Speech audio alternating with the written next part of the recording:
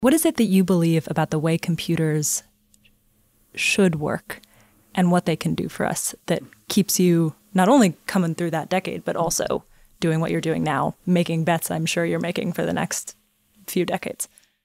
The first core belief uh, was our first discussion was about accelerated computing, parallel computing versus versus general purpose computing. We would add uh, two of those processors together, and we would do accelerated computing. And I continue to believe that today.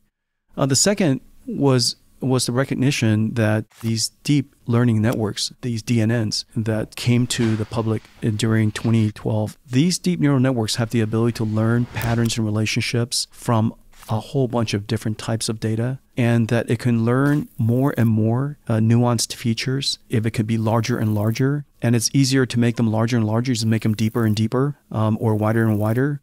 And so the scalability of the architecture is is um, uh, empirically true.